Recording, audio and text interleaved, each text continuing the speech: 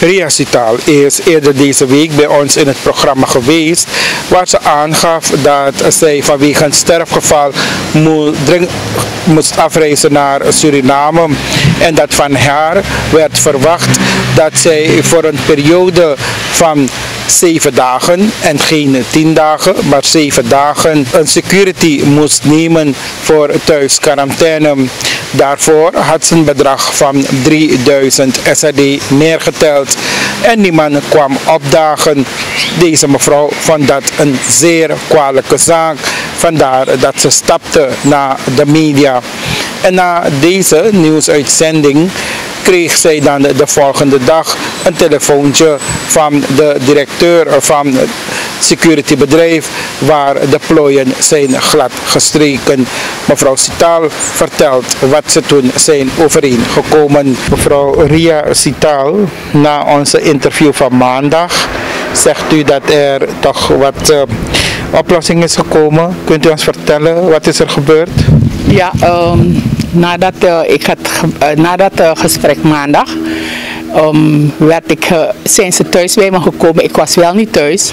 En mijn zusje die was thuis. Toen hebben ze op haar telefoon naar mij gebeld. Want ik was bij mijn tante hier. Dus dat is de volgende dag? Ja, de volgende dag. Ja, de volgende, de volgende dag. En toen vroegen ze me van, uh, zeiden ze me van er, er is wat miscommunicatie geweest met de security. Dus vandaar dat het zo is gegaan. Mm -hmm. Ja, en, was de miscommunicatie? Dus dat ze thuis niet zijn gekomen. En um, dat ze me ook niet mee hebben genomen. Dus ze moesten me eigenlijk thuis brengen. Mm. Met de wagen van de security. Dat moest gebeuren, maar dat was niet gebeurd. En dat was eigenlijk uh, een miscommunicatie van hun. Hoe zijn zaken verder rechtgetrokken? Ja, toen, uh, heb, ik heb toen ook, uh, de directeur heeft aan de manager gestuurd. En heeft me gevraagd als ik, um, hoe het gaat doen als ik dan een deel van het geld terug wil hebben. Weet u, want het is hun schuld, het is hun fout. Toen zei ik ja, als ze me de helft van het geld teruggeven. Ja, ik ga niet hebzucht doen om te vragen van ik wil al mijn geld. Nee, zo iemand ben ik weer niet. Mm -hmm. Want het zijn dingen die kunnen gebeuren ook. Dus heb ik hem gezegd, ik wil gewoon, uh, ja, laat ze me de helft van het geld teruggeven. Ja. Je heeft dat ontvangen? Ja, ik heb het gisteren ontvangen. Ik heb uh, ja, die security, uh, die uh, manager, die is helemaal hier bij me geweest. Hij heeft dat geld van me overhandigd. Ja. En daarmee is deze zaak nu dus afgedaan? Ja, het is afgedaan. Dus ik zou zeggen, ja, het zijn dingen die kunnen gebeuren.